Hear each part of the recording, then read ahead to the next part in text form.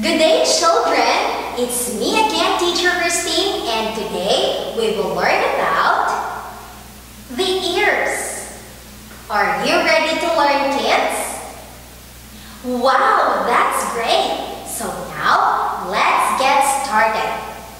You use your ears for hearing.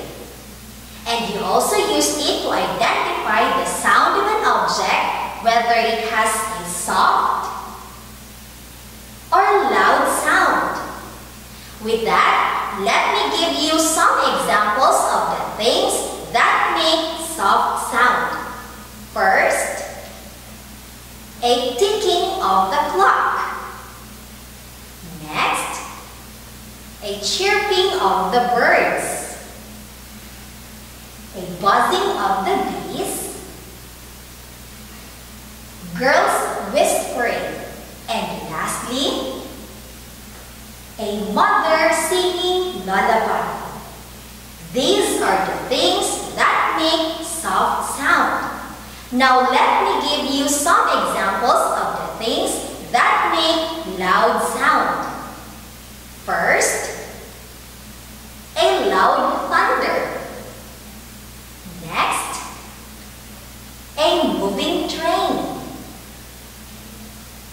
a trumpet instrument, a ringing telephone, and lastly, a megaphone. These are the things that make loud sounds. Now kids, do you always protect your ears? And how will you take care of them? Now, I'm going to show you some ways to take care of your ears. First, clean the outside part of your ears regularly using cotton buds or a clean cloth. And do not forget to ask an assistance from an adult. Turn down the volume of your gadget when listening to a music. Never insert anything into your ears.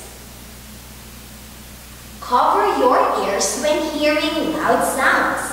And lastly, get regular ear checkup. Well done, kids! These are some ways that you will do to protect your ears. That's